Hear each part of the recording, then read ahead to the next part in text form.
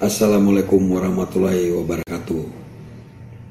Bertemu kembali dengan Bang Beni, kita bicara hukum lagi, ya. Bicara hukum kita dengan bahasa kampung. Tujuannya apa? Supaya kita bertambah wawasan, ya, dan tidak mendapatkan kesenangan-wenangan. Ingat rekan-rekan, kalau kita paham hukum, kita tidak akan e, ber, berbuat sewenang-wenang dan juga terhindar dari kesenang-wenangan ya. Jadi saya membuat channel ini tidak ada niat apa pun ya. Hanya membantu memberikan pengetahuan saya yang sedikit buat rekan-rekan ya. Karena kita kalau berbuat baik itu kan tidak hanya uh, dengan cara yang harus memberikan sesuatu gitu atau dengan cara ini juga menurut saya kita bisa ya e, berbuat kepada masyarakat.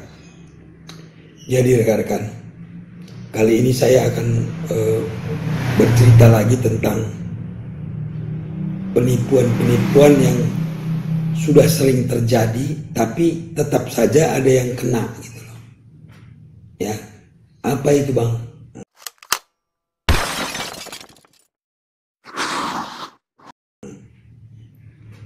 Beli motor harga murah.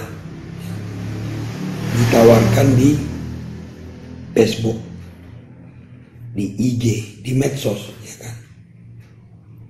Dijual motor lelangan leasing ya kan? Dijual motor murah eh, lelangan apalah gitu.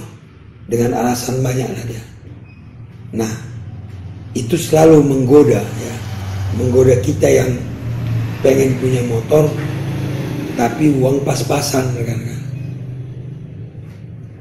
Ini barusan kejadian lagi. Dia lihat di Facebook ada orang jual motor murah, ya profilnya orang yang bisa dipercaya. Ya. Profilnya ada yang polisi, ada yang TNI, ada pegawai bank, padahal itu akun palsu kan? Ya kan? Bagaimana supaya kita percaya dibuatlah profilnya seperti itu. Lalu dia menawarkan sepeda motor dengan harga murah. Ya.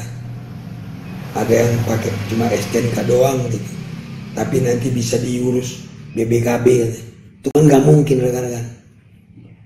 Dan tidak ada orang jual motor itu murah kalau memang motornya benar. Pasti harganya standar. Nah, bagaimana kita tahu harga motor standar bang?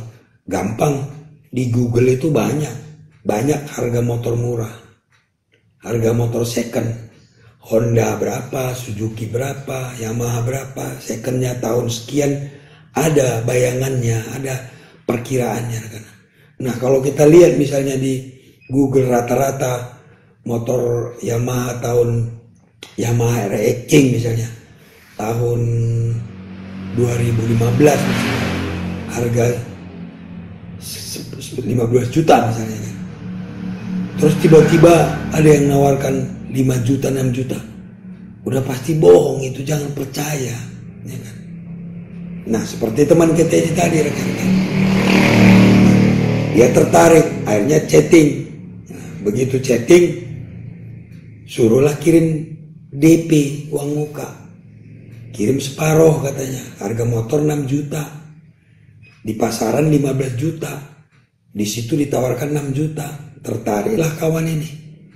Suruh kirim DP 3 juta. Begitu dikirim DP 3 juta, hilang. Akunnya put apa? Tutup. Nah, jadi intinya rekan-rekan Janganlah percaya kalau barang murah pasti bermasalah. Ya. Jual motor STNK doang, nanti dibikin BBKB-nya. Bohong, nggak mungkin lah. Ya kan? Jadi lebih bagus jangan percaya deh kalau jual motor murah eh, harganya nggak nggak masuk akal gitu.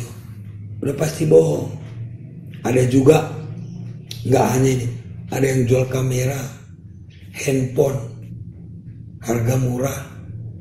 Nah kita tertarik. Pengen punya handphone pengen punya kamera. Buru-buru aja percaya gitu ya. tolong ya. Saya berharap setelah nonton video ini jangan lagi kita percaya dengan jual motor murah di medsos itu atau jual motor lelangan katanya. Motor hasil lelang itu lah kan. Kan bukan dijual pribadi-pribadi. Dia melalui balai lelang resmi. Ya. Jadi bukan oknum gitu saya jual motor lelang. Bohong itu. Kalau lelang dia harus melalui balai lelang rekan-rekan. Ya.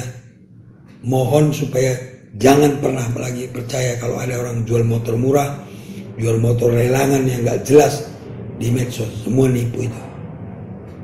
Mudah-mudahan ini bermanfaat. Minimal menambah wawasan kita minimal menambah kita lebih waspada lagi ya tetap tonton channel Bang Beni mudah-mudahan ada manfaatnya. Sampai berjumpa kembali. Assalamualaikum warahmatullahi wabarakatuh.